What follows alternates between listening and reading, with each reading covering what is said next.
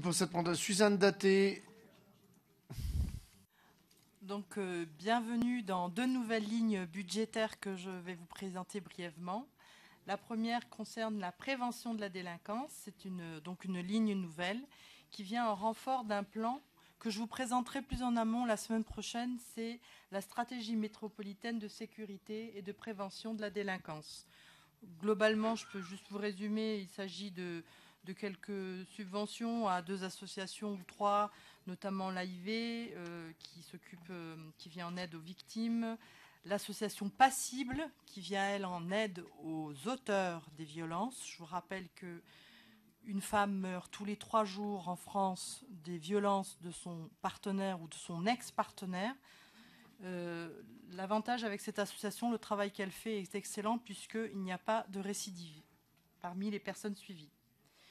Le deuxième budget concerne donc un transfert de la loi NOTRe, une nouvelle compétence pour nous à la métro, la prévention spécialisée. Alors elle est venue avec un financement et c'est donc euh, une nouvelle ligne budgétaire.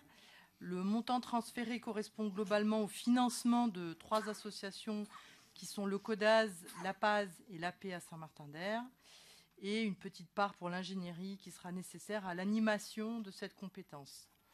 C'est environ 4000 jeunes qui sont suivis actuellement sur la métropole.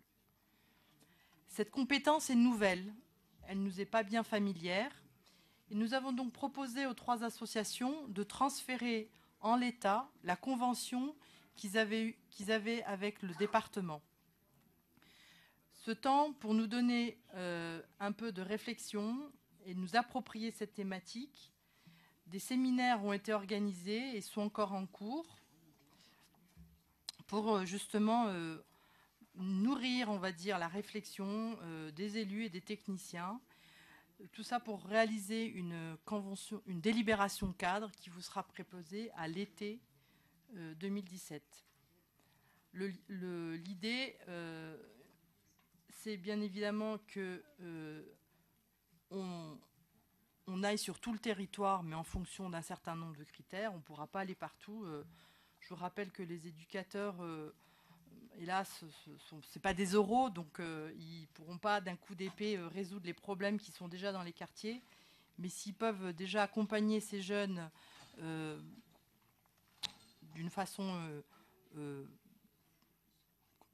oui, dirais, plus, sociale, ça, nous aiderait à tous. Je vous invite donc à venir au troisième séminaire qui aura lieu mardi 4 avril matin, de venir avec vos techniciens ou, d'être représentés.